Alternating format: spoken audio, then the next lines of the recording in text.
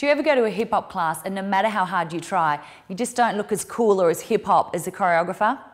Well, here's a smart tip to make a small change in style.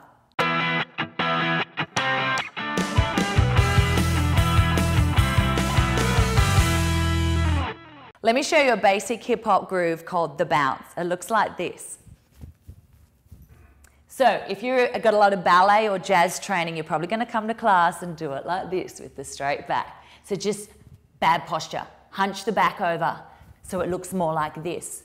And if you want to get really gangster with it, you can roll the shoulders. I'm Yolanda Thomas from youtube.com forward slash Yolanda Thomas. Thanks for watching my smart tip.